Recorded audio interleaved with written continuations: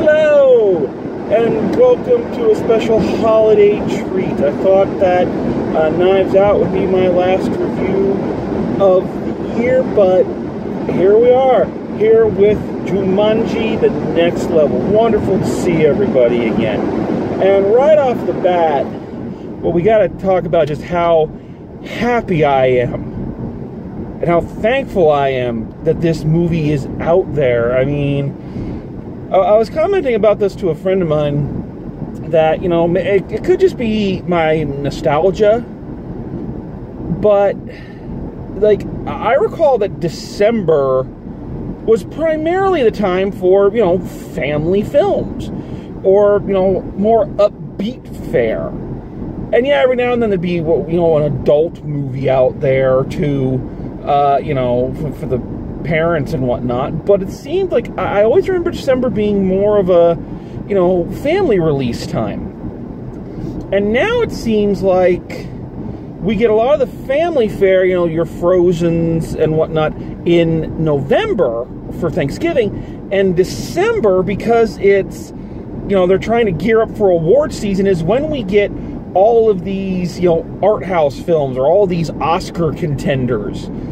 Um, and these are films that don't necessarily help get you into the holiday spirit. I mean, I remember I'm, I'm going to the movies and I'm seeing some of these trailers, and it's damn hard to be jolly watching some of these things. I mean, what is this? You know, on the third day of Christmas, the movies gave to me three chicks suing Fox News, one Atlanta bombing, and poison in the town's water.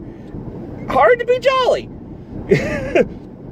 so, right off the bat, it's really nice to see a just fun family adventure film. You know, nothing too heavy. It, it is what it is. What you see is what you get.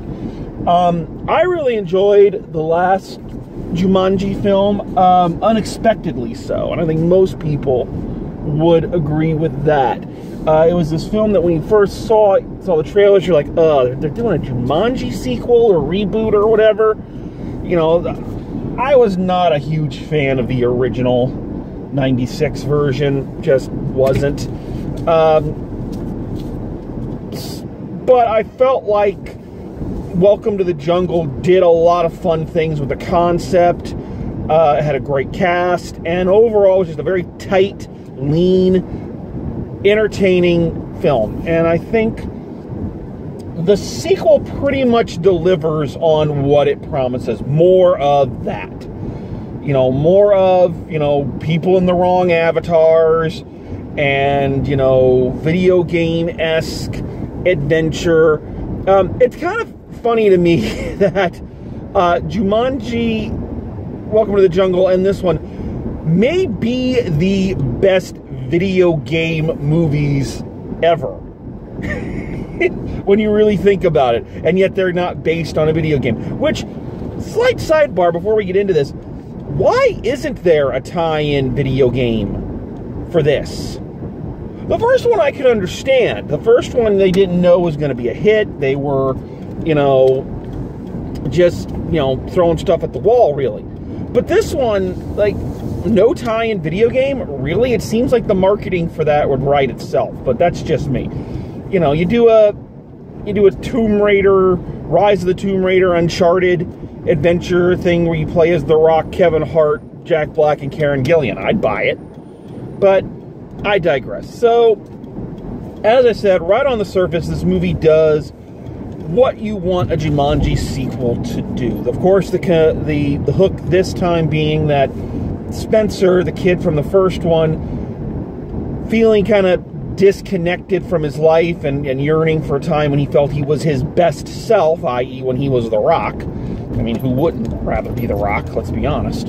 Um, goes back into Jumanji. His friends go back in to get him. Only this time, along with them, um, his grandfather, played by Danny DeVito, and his friend, played by Danny Glover, are sucked into the game and end up in the bodies of The Rock and Kevin Hart, respectively.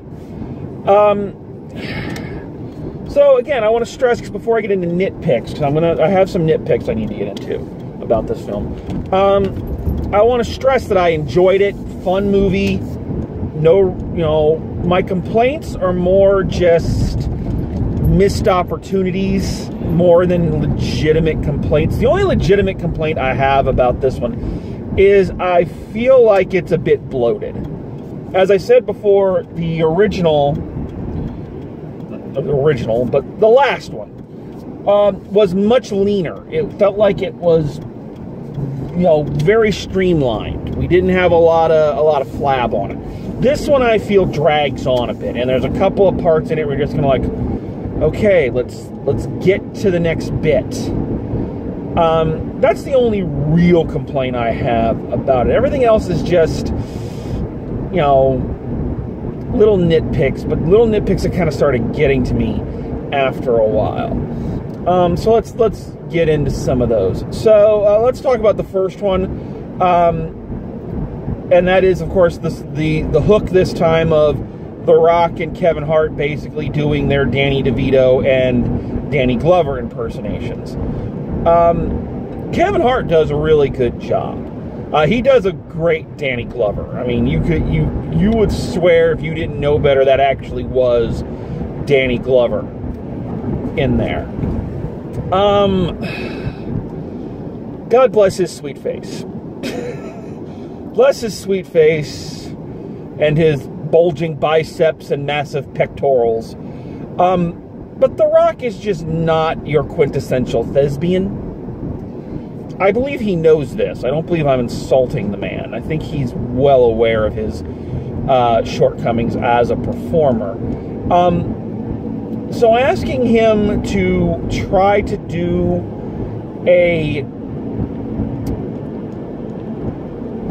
to play another famous actor is questionable and what turns out is him just doing a really bad Brooklyn accent.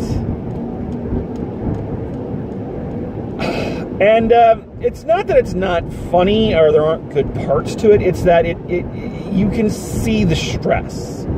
The Rock is at his best when he is essentially playing The Rock or a Rock esque character. You know? And this time he's still doing that but you know i, I don't know. He, he just it, it, it, it feels much more forced this time. You put any strain on something like that and it's gonna it's gonna crack. Also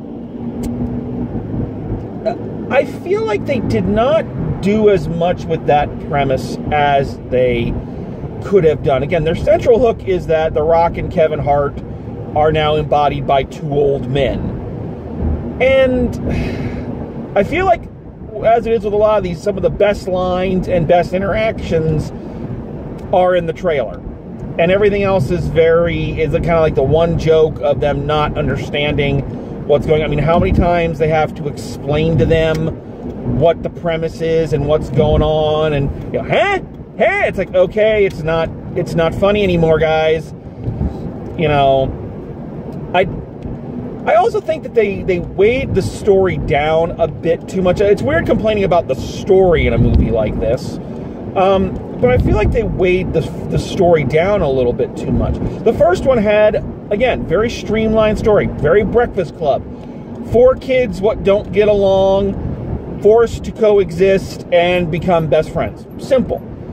This one, you've got Spencer having his, you know, 20s life crisis and you've got Danny DeVito and Danny Glover who were friends but had a falling out, and now they're trying to patch it up because you could probably guess why suddenly they'd be trying to patch up a friendship because they're old. So you can probably guess where this is going. Um, and I don't think the movie needed that. I think you could have had just as much fun if Danny DeVito and Danny Glover's characters were still friends and they were just two old men kind of enjoying being young and healthy again you know, I, I don't think it needed the added conflict except for people like watching The Rock and Kevin Hart fight. Um, and again, I just don't think it needed it. Um, weighed it down a little bit. Um, Karen Gillan is uh, great again, but uh, not not really given a whole lot to do. She's more the den mother or the nurse this time, trying to keep the old guys in line. And I don't think it's the best use of her, uh, of that character, or of her as an actor. You know, uh, again, it's not bad. It's just I don't think she's given as much as much to chew on as she had in the first one. Um, still, you gotta admire Karen Gillan just as an actor and kind of the breakout role she's been having lately. But here's a here's a, a quibble I have. Small quibble, but a quibble. Why won't they just let her use her accent in this movie? It makes no sense to me. You have an actor with, pardon me, but an extremely sexy accent. And you make her speak with an American one the whole time. I understand it in Guardians of the Galaxy, but this film, it's the same question I have of why they don't let Benedict Cumberbatch use his accent. Why can't Doctor Strange be British? Why did they have him do the voice of the Grinch and not use that incredible voice he's got? You know, why? I don't I don't understand it. it that little nitpicks to me, but it's something that always bugs me with her and and Benedict Cumberbatch. Why they don't let them use their their natural voices. Um, I know that The Rock and Kevin Hart are kind of the top billing here. It's what always gets people. You know, their names are the ones on the seats. Dwayne Johnson produced the thing, so but I, I, honestly believe for both these movies, these movies belong to Jack Black. Like, these are his films. Um, he is the highlight of both of them, and he is really, he is turning it up in this one. And this is coming from somebody who honestly was not a fan of Jack Black at, at, in his heyday. You know, when he was, you know, the big, the big comedian uh, around, and you know he was doing all the movies. I was not a fan, but I, I gotta say, I thought he was hysterical in the first one, playing Bethany, and he's hysterical here playing Fridge, the African American friend who gets sucked into all this.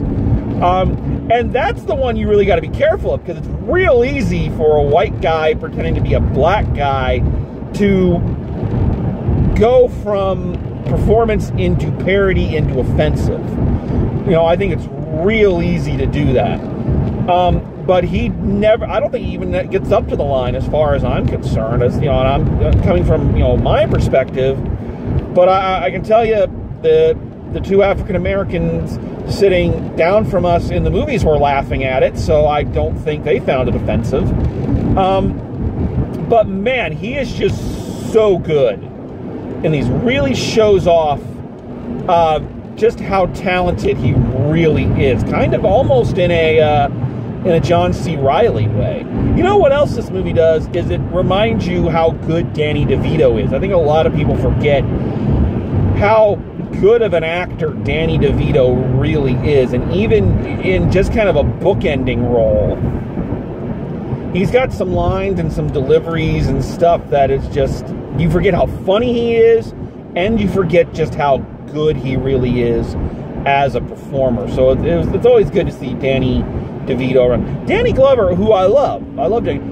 I feel like he gets the short end of the stick here. He has, he, he's in the first part of the film, but he doesn't do much. So it's like, why'd you pay Danny Glover money?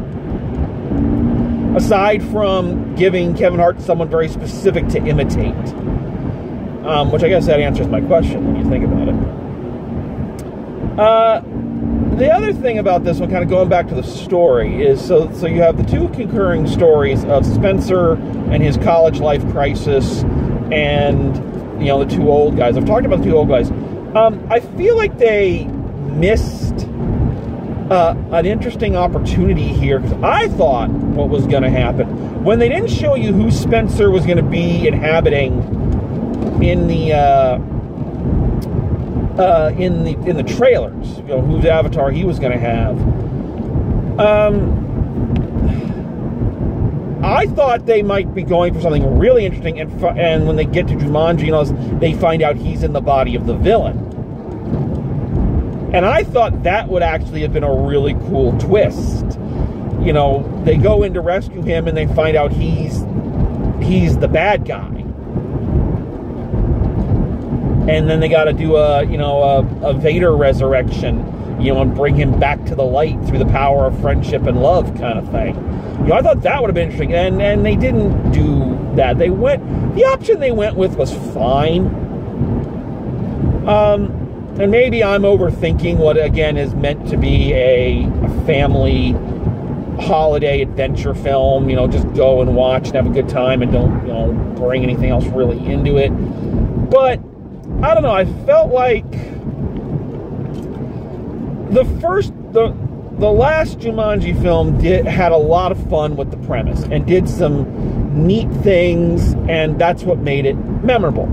And this film I feel just suffers from a little bit of sequelitis in that it's more of the same.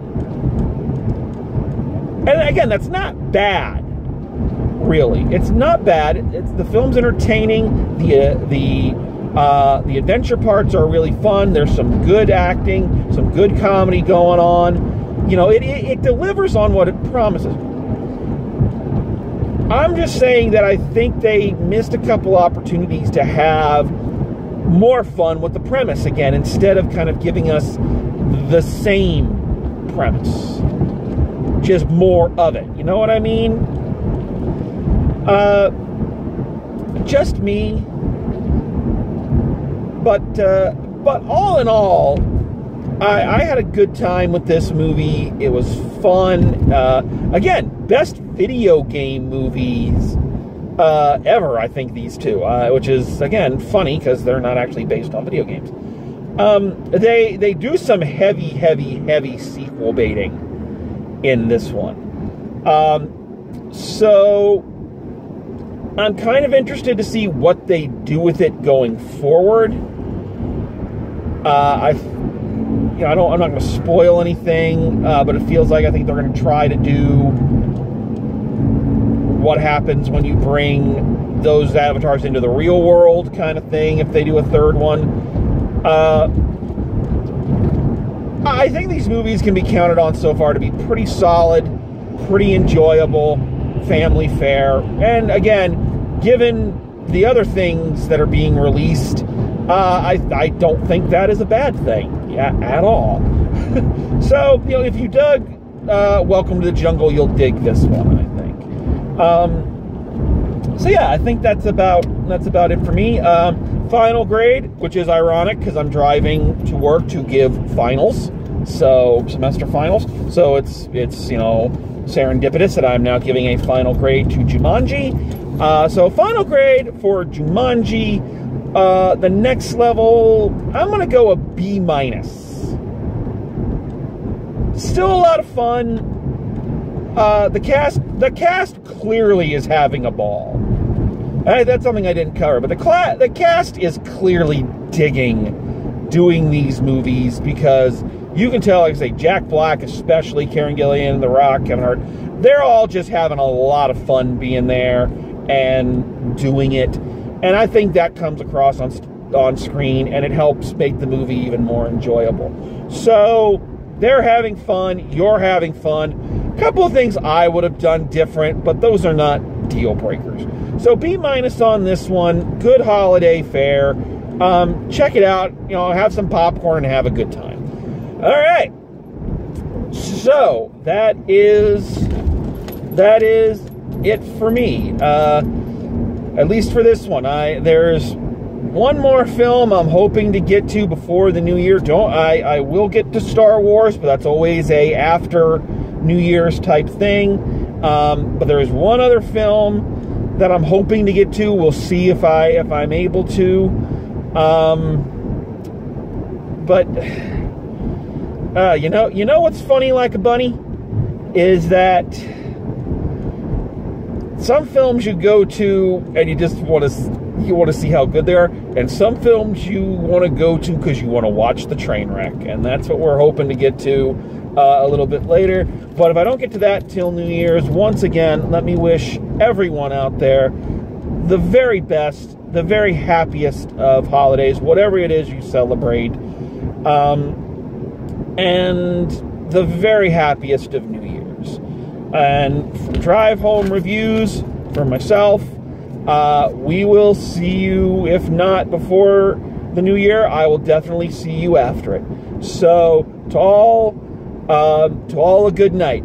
As always, drive safe, and I'll see you at the movies.